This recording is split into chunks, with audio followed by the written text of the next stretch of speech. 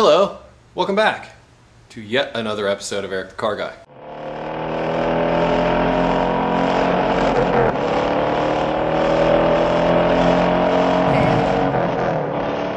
I get a lot of requests about engine performance issues, as you might imagine, because these are the things that leave you scratching your head, wondering what the heck it is. And many times you end up just throwing parts at it until you get frustrated and take it to the mechanic and they find out it's something really simple and then you're even more frustrated. So diagnosis, that's, that's key. You can't just throw parts at things, you have to diagnose them. And one diagnostic tool that you can use that's very effective is called a power balance test. I'm going to show you how to do this uh, in a guerrilla style. Um, but there is also the capability on many late model vehicles to perform this test with like say a scan tool. Um, some more sophisticated scan tools have the ability while you're sitting in the car while it's running to cancel out cylinders one at a time and monitor the uh, different output of those cylinders as compared to the rest. Uh, basically it's like this. The engine has a number of cylinders, whether it's three, four, five, six, eight, whatever, okay? And each one of those cylinders is designed to produce the same power. If it's unable to produce the same power, then that cylinder's down. So the engine might miss a little bit, or it might uh, have a check engine light, or you know, ex exhibit any number of symptoms. But basically, it's a result of the fact that one guy's not putting out.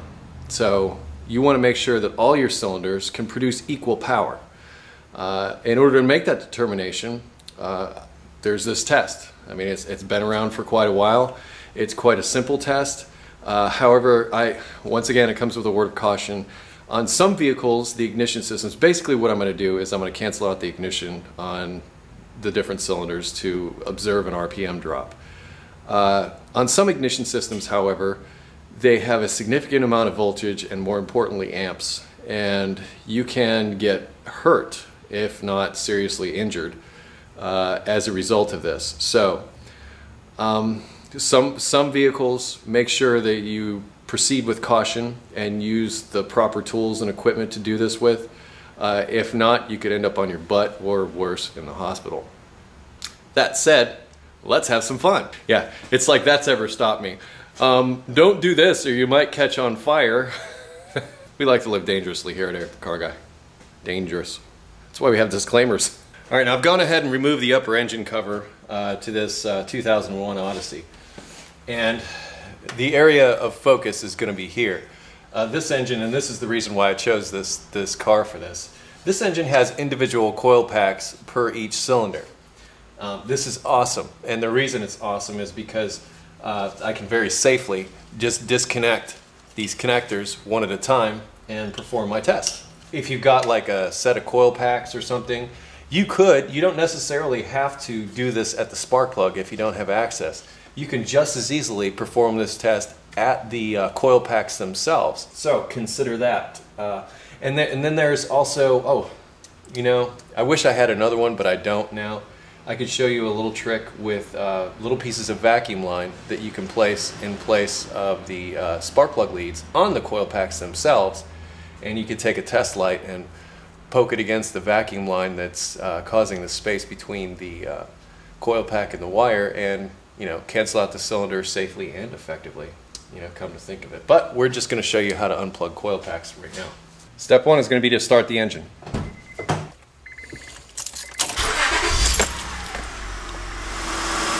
Now that the engine is running, disconnect the uh, connectors at the coil packs one at a time. And listen for the RPM to drop. When you plug it in, wait like a second before you move on to the next one.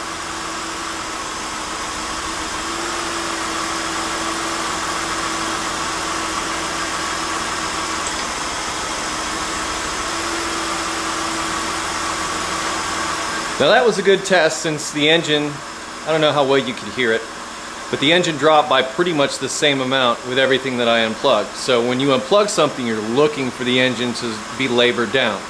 If you unplug something and nothing happens, that's the problem cylinder. So if you unplug one of the coils and the engine stays the same and you don't hear any change in RPM whatsoever, that's your affected cylinder. So let's demonstrate that right now. Now I've gone ahead and simulated a faulty injector on this cylinder. I just unplugged the coil pack and nothing happened.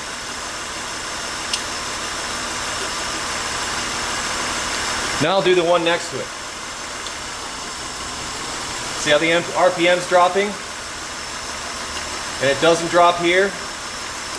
You found the problem cylinder. It really is that simple. It's, it's just a matter of canceling it out cylinder by cylinder. A couple of things to note. You don't want to uh, disconnect it for too long uh, because what you'll do is with the lack of ignition on a, on a well-running cylinder is you'll be running raw fuel through that cylinder into the exhaust and down into the catalytic converter.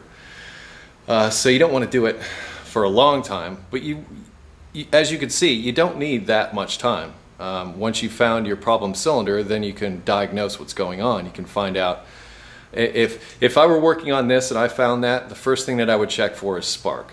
I'd pull the coil pack out, I'd put my spark tester on the coil pack, and I'd check to see if I had spark on that particular coil pack. If I didn't, I'd replace the coil pack. If uh, I did have spark, then I might suspect a faulty fuel injector. And in that case, I would probably take a, uh, you know, my stethoscope or a screwdriver or some kind of equivalent and put it down to that, on that injector and see if I could hear it ticking. If it wasn't a fuel issue, then I might start looking for something like a vacuum leak or something particular to that cylinder. And if I couldn't find a vacuum leak, then I might look for a mechanical cause by performing a compression test or even better, a leak down test on that particular cylinder, suspecting something like a burned up valve uh, that, that wasn't sealing properly. Anyway, any number of things, but this, this will get you down the road to diagnosis. So if I tell you to perform a, a power balance test, this is what I'm talking about. Can cancel the cylinders one by one, no matter how many cylinders you have, and that's going to be where the real trick is, is trying to figure out how you're going to cancel those cylinders out. Once you've overcome that issue, if you have them real nice and easy like this to where all you have to do is unplug a coil pack, you're perfectly safe in doing that. Just don't do it for a long time. And uh, hopefully that will help you find the offending cylinder and thus be on the road to diagnosis. Anyway, I'm Eric the Car Guy. I'm hoping this information was helpful to you because it saves me from typing.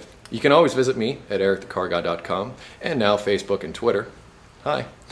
Uh, so, as always, be safe, have fun, and stay dirty. But most importantly, have fun. And the staying dirty part, well, that's just fun to me. See you.